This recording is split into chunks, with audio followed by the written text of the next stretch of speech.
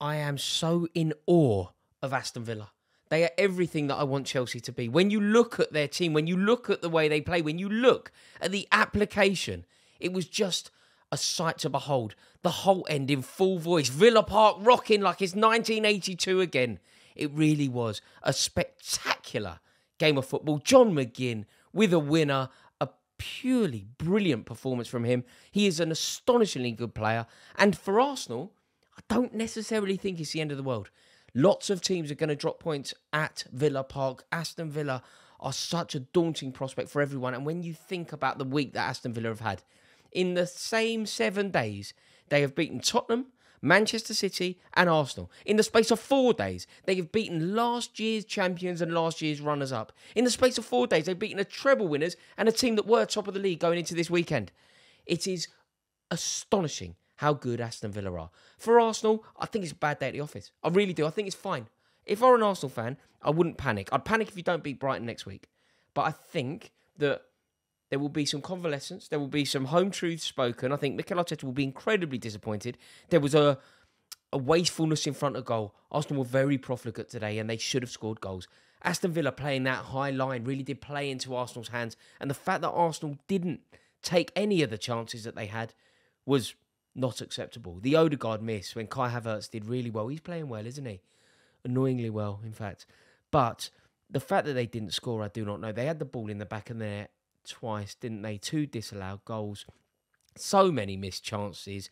The penalty that probably should have been given, but Arsenal were just trying and trying and trying, and they could not find a way through this Aston Villa team. This Aston Villa team, however, need to be taken incredibly seriously. They really are a, a, just a truly mesmerising, dazzling team. And the kindest thing that I can say about them is they are everything that I want Chelsea to be. When I watch Aston Villa play football, do you know how I feel? Do you know what the emotion that comes across me in waves? It sort of overwhelms me. Jealousy. When I look at the the way that a manager has landed, you know, he took over a club that were in total disarray. Steven Gerrard had left that club in in border borderline on the abyss. They were all over the place. They didn't know who they were. They didn't have an identity. The players weren't happy. Treated Mings terribly. Brought in Coutinho foolishly, and they were all over the place. Totally and utterly all over the place. Now, before we get into it, I need to let you know that I've partnered with NordVPN on this video. Trust me, everybody needs a bit of VPN action in their life. It has elevated my life beyond recognition. You know, the 3 p.m. blackout? It doesn't apply to you if you simply sign up with NordVPN. That's right. It allows you to watch goals from all over the world. It allows you to watch goals from the Premier League. It allows you to watch matches that perhaps you shouldn't see. You know, when you go on Twitter, sometimes it will tell you that this goal will not be served in your location. Not anymore. All thanks to NordVPN. And guess what? It is so affordable. It is comparable to the price of a cup of coffee, and one login will allow you to partner with six different devices. So you can share it out between your mates. You can have it on your various different devices. NordVPN is the VPN action that you need in your life. Trust me. Also, not that you would, but let's pretend for a moment that you were doubting what I'm saying here. There's no risk attached. It is completely risk free with Nord's 30 day money back guarantee. So, if you try it out and for one reason or another decide that it isn't for you, you get your money back. No risk at all. Literally no jeopardy. And there is more good news. There is even a discount if you use my sign up code. All you have to do is head over to nordvpn.com forward slash Rory. The link is, of course, in the description below. Hope you enjoyed the video. And what happened? Unai Emery arrives and they never look back. Last season, they only, it was a meteoric rise up the table, away from relegation, and they were brilliant. This year, they're league contenders. I don't think they're going to win the Premier League, but they are capable of winning the league. And it is actually doing a disservice to them and to the competitiveness of the Premier League if we don't at least acknowledge that they are title contenders. They are truly brilliant. They have won 15 games in a row at home. They have won 15 games at home. You only play 19 in a season. What an achievement from Unai Emery. And now, I'm going to say it Unai Emery is an elite manager. He is genuinely elite. He is comparable to the very best. Now, I don't think he is the very best. I don't think he's as good as Jurgen Klopp. I don't think he's quite as good as Pep Guardiola either. But he is knocking on their door. and he is head and shoulders above every other manager in the league. Head and shoulders. Twice the manager that Ten Hag is. Twice the manager that Ange Postecoglou is. Twice the manager that Mauricio Pochettino is. Just to compare this, you know, when I say I'm watching Aston Villa, I'm full of jealousy because I'm looking at the way that their team are playing and I'm looking at the application, the cohesion, the desperation to win, the fight, the intensity, the bursting their lungs, putting everything on the line to make sure that Aston Villa win, to make sure the whole end is in full voice, and to make sure that the badge on their chest is being treated with pride. Compare that to Chelsea. Compare John McGinn to Enzo Fernandez. Enzo Fernandez is meant to be the boy, right? He won the World Cup. He scored that goal against Mexico. He's the main man. Lionel Messi said he's a great player.